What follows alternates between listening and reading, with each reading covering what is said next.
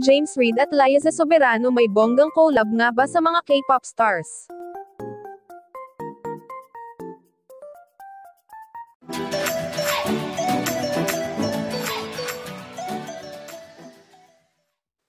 Kamakailan lamang ay official na pumirma si Liza Soberano under her new manager James Reid. Na-excite ng bonggang-bongga ang mga fans ni na Liza Soberano at James Reid nang makita ang kanilang latest photo sa social media.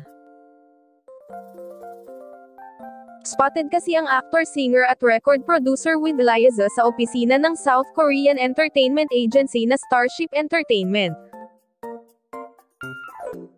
Kasama rin ni na James at Liza na bumisita sa nasabing Korean talent management ang Careless Music CEO na si Jeffrey O.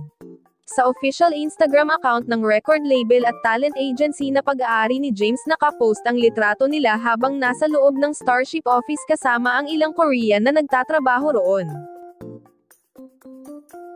Ang nakasulat sa caption ay, Careless Music and at Official Starship.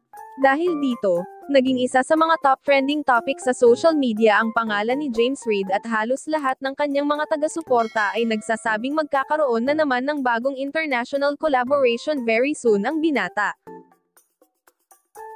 James Reid was really out there proving to everyone his talent. I'm not surprised at all when he had a collab with an international artist because he's very passionate about everything he does. I'm so happy for him. He deserves every good thing in the world, ayon sa isang tagahanga ng aktor.